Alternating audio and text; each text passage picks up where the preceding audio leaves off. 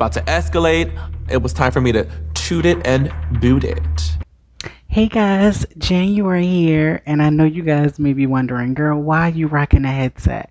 So I'm actually not home, but I've still watched um, the Bad Boys episode 4. So let's go straight into it. The episode this week started with um, everything that happened last week in the bowling alley. So basically, they open up with what happened at the bowling alley. Everyone recaps, and if you guys didn't see last week's episode, basically what happened is the end of last week's episode at the bowling alley showed the baby fighting with um, Lee's brother. And this week we get a better clip of it. And in this clip, you can really see that they were working and overworking DaniLeigh's brother.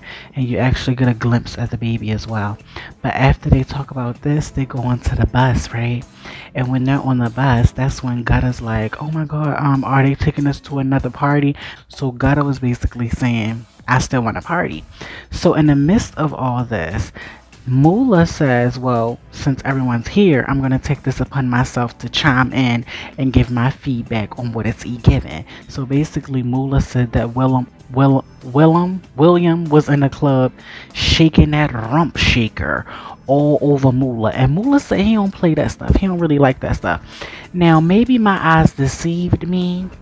As you guys know, I do wear glasses. So maybe my eyes deceived me or was a good editing team. Either way, I never saw William shake that ass all over Moolah. He said, as soon as you see a camera, you do too much. You do too much. Child, the whole conversation was giving me nothing that I needed, nothing that I wanted, nothing that I asked for. It was basically a plate of bull, and I didn't ask for any of it. So the next day, Milan Christopher reveals that throughout the night, William has packed his things and William has made a beeline to the front door, honey. William has dashed. And that's basically what Milan tells the guys at the pool. Milan also mentions that they should make a song and that they should throw one of the baddest parties for the bad boys of LA. Basically, what William was saying to Milan was that he felt the energy of a beast. About to escalate. It was time for me to toot it and boot it. Um, William was like, I'm not going to be getting my ass beat every day. That's what he said, right? So basically, Milan couldn't convince him to come back, or he convinces him to at least come get his bags, you know? After he talks to William, that's when Milan takes it upon himself to go talk to Dylan because William was his roommate. So basically, he wants to get the tea on that whole situation. Doors were locked, and William said that whatever happens to him is going to happen to Dylan. Like, if they're going to bank William, they're banking Dylan too because he's in the room. So Dylan feels like he was caught in the crosshairs. But to me, Dylan didn't give bothered. Dylan didn't give bother at all. Dylan gave me that he didn't care. He was like, whatever was gonna happen to William wasn't gonna happen to me, so I'm good. That's what he gave me. Brief scene, um, Dylan does step outside and he does have a, a short conversation with Mula and Curtis. They were coming back home from the Buffalo Wild Wings joint. So they had um containers and stuff in their hands. Dylan came outside, you know, he smelled the food and basically he was having a conversation saying, Whatever y'all have going on with William, does that affect me? Child, it was giving me, you gonna be his ass, not mine, right? Uh, I want to give a huge shout out to Kerrion. Yes, he did repost us last week. I'm so happy. Thank you, Kerrion. All right, so now at this point in the show, we get a surprise scene from William. William basically says that he had a bag to get, so he came back to the house. And I'm not talking about a cash bag, he left luggage, so he had to come back to get his things. Now, when William came back to the house, he was talking to the producer producers. And as he was talking to the producers, Moolah saw a camera and you know he can't resist. So he came outside and he basically confronted William. He said, William, I scare you. William, I threatened you. About to escalate. It was time for me to toot it and boot it. I'm the reason you want to leave this house. I threatened you. William, William, you know me before this show. William, William. So I'm I'm sitting there watching my TV screen and I'm like, oh, this is some tea now, child. So Mula basically says he already knew William. He played some of William's track. I guess he is a um, radio host or a DJ of some sorts. I haven't done my research on Mula. I won't be doing that assignment. So I'm not really sure what um, Moolah does, but obviously he has a connect in the industry where he can actually get people music played on the radio and stuff. And basically that's what he was doing for William. So they already had a connection prior to the show. So Moolah's basically saying, why do you think I'm going to beat you up? I've known you outside of the show. Now William is standing there shook just how this guy looks on my shirt that's why i bought this is basically how this is how he looked this is how william looked at him scared frightened stiff he wasn't giving anything he just kept saying see this energy you're giving me it was confusing me a bit because William was making it seem like him and Moolah had an understanding of something. And he's like, Oh, this energy you're giving me, I'm not understanding it. So basically, while Moolah was questioning him, um, William gathers himself up and he gets back in his car and he leaves. As far as I know, that's the last time we're going to see William. Um, did try to jump on um, William's case saying that he leaked the entire cast. Did you or did you not leak the entire cast? Who cares? I mean, the cast was gonna get leaked regardless. Are you mad, Moolah, that William got that check and he answered the phone call when someone called him and said can you spill tea on bad boys la who gonna be in the house? Spill tea. Yes. I'm sure it was paid. Anyone with half a brain would know that they'll pay you for that exclusive. I hope he got paid. Are you mad that he got that check first? Gutta kind of creeping into Kerrion's room and he's like i'm getting ready to get in his bed. So he climbs into the bed and he puts on a pair of Kerrion's favorite shades and he's laying in the bed right? And that's when carry on comes out of his room and he's like wait a minute what you doing in my bed, man? And he's like um, questioning him, and that's when Gutta's like, huh, huh, huh.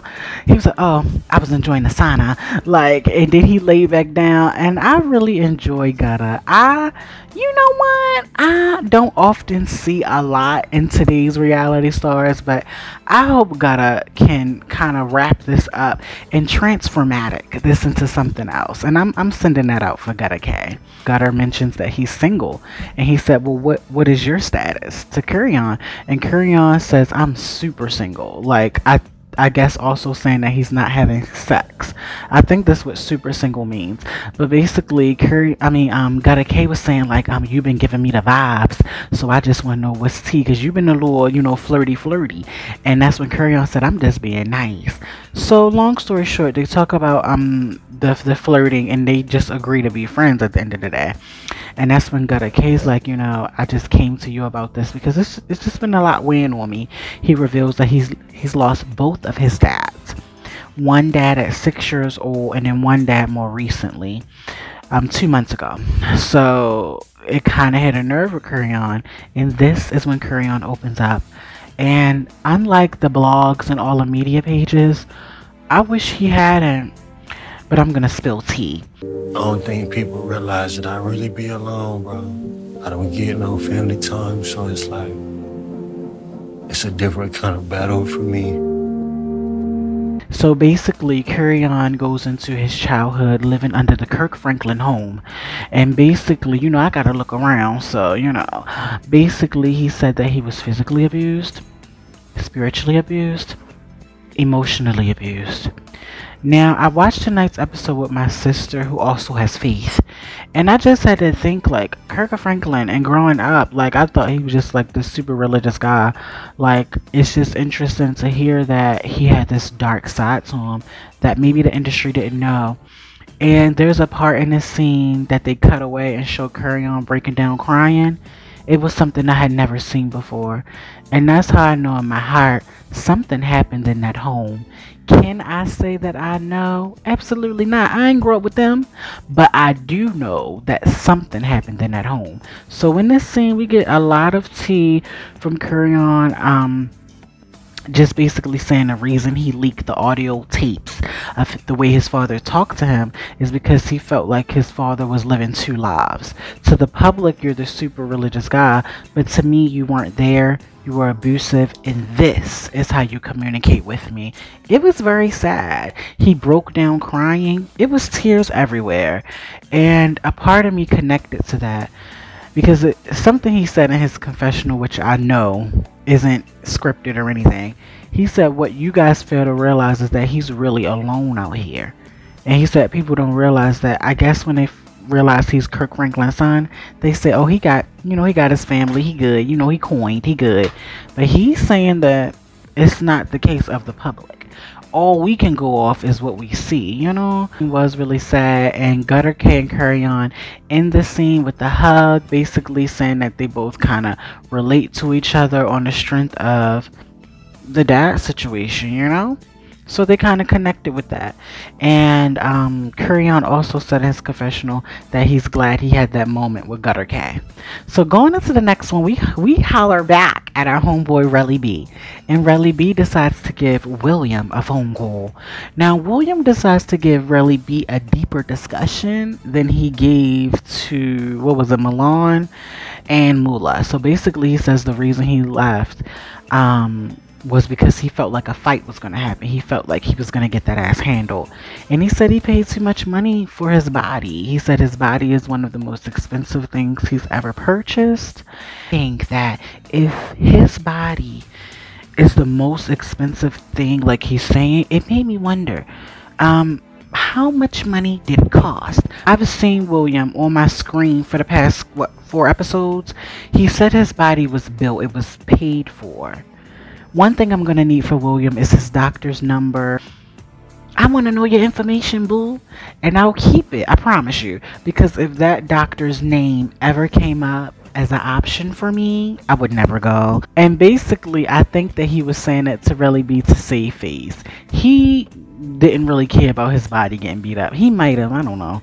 But he said his bag isn't he's trying to get a different bag than other people on the show. He does. He didn't go into the fight club. He enters the bad boys club, and I respect that. I have to say I understand why he left, and I understand why he's not coming back. So it is what it is at this point. Relly B says to um, William that you want to be a public figure, you have to take what comes with being in a public spotlight. And I was thinking, like, really, B, there are celebrities out there that do not get into physical altercations. I mean, I could go down a list of some of my favorite celebrities, and none of these people are fighters. I love Lord Kim. I love Will Smith. I love Biggie Smalls, Whitney Houston, you know, and these people are known for not swinging back on people. Child. So not every celebrity has to fight back. Milan comes into the house and he's basically telling the boys um, what he said earlier at the pool house. He basically said that he wants to come up with a song and he wants them to produce a song and throw a huge party. So everyone's happy and they also take the time to ask Dylan how does he feel now that he has a whole room to himself. Dylan said he feel like the people's champ. They said, well, Will, I mean Dylan, if William decides to come back, can he bunk with your room again? Dylan said no. Dylan said no. Into the O spells no. And that's coming from Dylan. You know, so it is what it is at this point. He didn't threw that boy under the bus, got in the driver's seat, drove over the bus, backed the bus up, drove over the bus, backed the bus up, and everyone's just surprised that he turned on William so fast. But it is what it is at this point. Um, did you guys see Gutta K in a corner popping gummies? It's like Gutta K is, but you know what I love? That I always see these cute, funny scenes with him that's how I know he's being himself. Like I said last week when he was twirling his hair real hard when everybody was talking, and now this week I see him in a corner and he's like opening a bag of gummies up. It was so hilarious. But overall, that was um, that episode. A lot of sadness, you know more conversations and stuff like that. So basically, next week, and they're in the studio and things like that. Child, I am not ready for next week, and I don't think you are either. Al Kerrion is back in the ring, but this time he's going head to head with the original Milan Christopher. Now y'all know Milan Christopher is the is the sex symbol of the house. So next episode he's bringing out um, his toys. Milan Christopher has toys of the front part of him and the back and both of them are really you know yeah so like you can actually purchase Milan Christopher's body parts like toys and have your fun with it. So he's showing that in a next episode. Him and Kuriana get into a next episode. And Kuriana, I have to say, I am shocked. So they're in a studio and basically Kerrion, I don't know the context yet, but he says y'all being a bunch of sissies. That's when Milan Christopher said, I am a sissy and I'm a he says that. And he's like, You wish you was one too. Like that. I just was like, wow. So it doesn't show physicality, but it just shows a verbal, a verbal matchup. We'll see what happens. But I want to thank you guys for watching today. You know, if you did watch this um tonight's episode, let me know what you thought. What are your thoughts as the show is moving forward? Remember, run up them likes. If you're feeling your girl, let me know in that comment section below. That's my final thoughts. Overall, episode 4 seems like it's getting a little better. What I'm noticing with Zeus is that they have a routine of giving us like photo shoots and first day within the first three, four, five episodes. And then as the series continues, you get more quality. So this one we got scenes, we got looks, we got topics. Episode four to me is a highlight episode because my sister who watched with me was introduced in this episode and felt comfortable.